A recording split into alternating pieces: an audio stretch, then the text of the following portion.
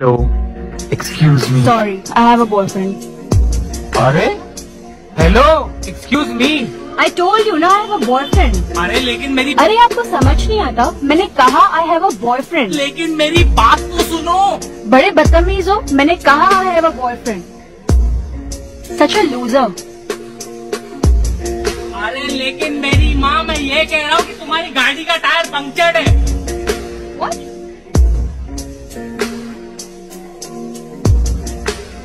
Excuse me. Can you please help me?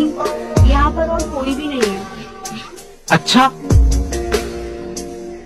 sorry I have a girlfriend Stand by me, so I have a you